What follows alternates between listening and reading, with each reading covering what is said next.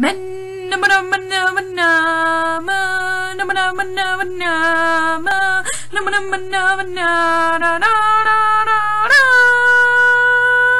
Live Hot Potatoes video was filmed during the Australian tour. It was made by Core Video Studio Pro onto DVD who have captured half to do the stunning images. Much more capturing videos out of a webcam just isn't half by that right made by me. Reuben, can you tell us a little bit about this?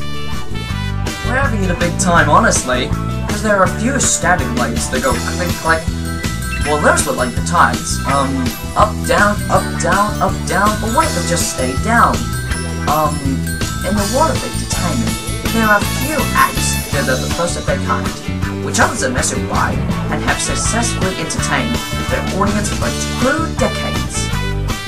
So we can celebrate the millions of people around the world who enjoy my Kirby's Adventure Live Hot Potatoes credits. They were described as the New York Times, world's number one group. They're like perfume, aren't they? The world of entertainment. Their music is stunning. Their production is beautiful. It's like the Beatles have come to town. You know, for those kids. I mean, these are the Beatles.